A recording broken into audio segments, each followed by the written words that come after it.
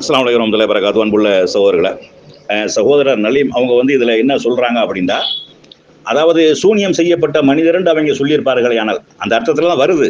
அந்த அர்த்தத்தில் அதனுடைய நேரடி அர்த்தத்தில் தான் அவங்க சொல்லியிருப்பார்களே ஆனால் சூனியம் செய்யப்பட்ட லூசு பைத்தியமாக போயிடுவாங்களா இல்லையா? அப்படியானால் அவங்கள எப்படி வந்து இந்த அற்புதங்கள் இதெல்லாம் சொல்கிறது கூப்பிட்டுருப்பாங்க அப்படிங்கிற ஒரு வாதத்தை என்ன செய்கிறாங்க முன்வைக்கிறாங்க.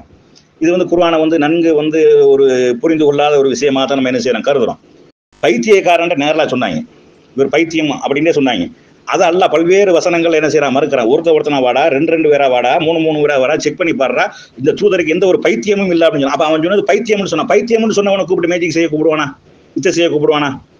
அப்போ பைத்தியம்னு சொல்லியிருக்கிறான் கிறுக்கண்டு சொல்லியிருக்கிறான். அது- அதுல அதுக்கு தான் அடுத்த பைத்தியம் அதான அர்த்தம். மரகரண்ட ஒரு லூசானவர்.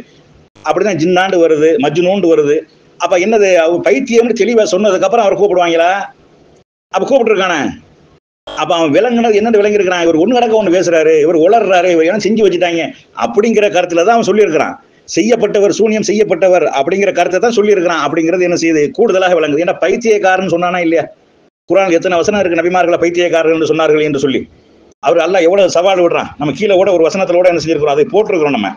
அதாவது அவங்க வந்து பைத்தியக்காரன் அவர்களின் தோழருக்கு முகமதுக்கு எந்த ஒரு பைத்தியமும் இல்லை என்பதை அவர்கள் சிந்தித்து பார்க்கவில்லையா? அவன் சொல்லியிருக்கிறான்.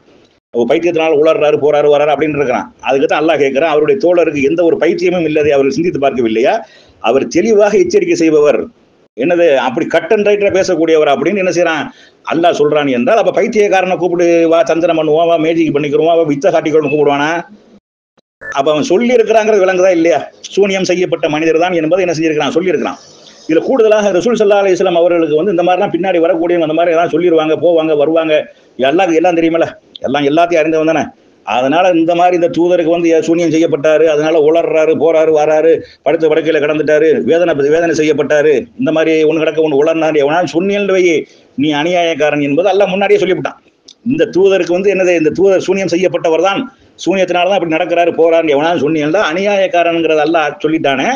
அப்போ வந்து இல்லை நம்ம அந்த அர்த்தம் கொடுக்கக்கூடாது அந்த கருத்து கொடுக்கக்கூடாது. அப்படித்தான் வருது கொடுக்கக்கூடாது. ஏன் கொடுக்கக்கூடாது? அதுக்கு அந்த அர்த்தம் தானே கொடுக்கணும். இன்னைக்கு சொல்றாங்களே. இந்த தோழர் வந்து சூனியம் செய்யப்பட்டவர்னு சொல்றாங்களே ரசூல்லா பார்த்து சூனியம் செய்யப்பட்டவர் சூனியத்தால் பாதிக்கப்பட்டவர்கள் இது அந்த காலத்தில் அநியாயக்காரன் தான் சொல்லியிருக்கிறான் அப்படிங்கிறத என்ன செய்ய விளங்கிக் கொள்ளணும். ரெண்டாவது ரசூல் சல்லா அலி இஸ்லாம் அவர்களை பத்து அல்லா வந்து ஒரு முக்கியமான ஒரு விஷயத்தை அல்லா சொல்றான்.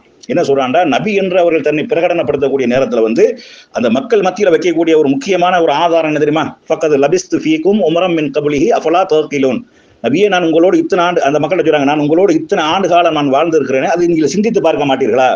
அப்படின்றது அதுல என்ன அர்த்தம்டா நான் பொய் பேசியிருக்கிறேனா ஏமாத்திருக்கிறேனா திருடி இருக்கிறேனா ஒன்று கிடக்க ஒன்று உளறி இருக்கிறேனா முரண்பட்டு பேசியிருக்கிறேனா ஏதாவது தப்பு தவறு பண்ணியிருக்கிறேனா நான் உங்களோட நாற்பது ஆண்டுகள் வாழ்ந்திருக்கேன் அப்பயே எதுவும் அல்லாவுடைய தூதர் ஆனதுக்கப்புறம் உளருவானா ஒன்று கிடக்க ஒன்று சொல்லுவானா? அல்லாவிடம் வராத செய்வனா?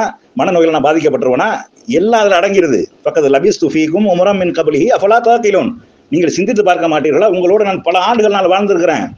இன்னைக்கு நான் ந- நபின்னு சொல்றேன் தூதர்னு சொல்றேன் எனக்கு பைத்தியம்னு சொல்றீங்க நீங்க. இன்னும் சூனியம் செய்யப்பட்டவர்னு சொல்றீங்க.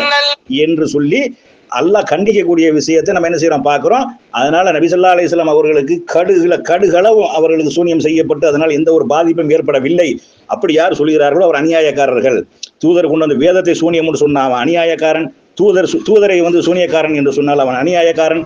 தூதருக்கு சூனியம் செய்யப்பட்டது என்று சொல்லக்கூடியவன் அநியாயக்காரன் என்பதை அல்லாஹ் அவ்வளவு அழுத்தம் திருத்தமாக என்ன செய்யறான் சொல்றான்.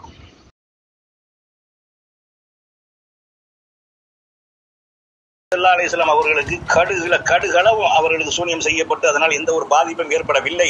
அப்படி யார் சொல்கிறார்களோ அவர் அநியாயக்காரர்கள். ஸல்லல்லாஹு அலைஹி வஸல்லம் அவர்களுக்கு கடுகுல கடுகளவும் அவர்களுக்கு சூனியம் செய்யப்பட்டு அதனால் எந்த ஒரு பாதிப்பும் ஏற்படவில்லை. அப்படி யார் சொல்கிறார்களோ அவர் அநியாயக்காரர்கள். தூதர் கொண்டு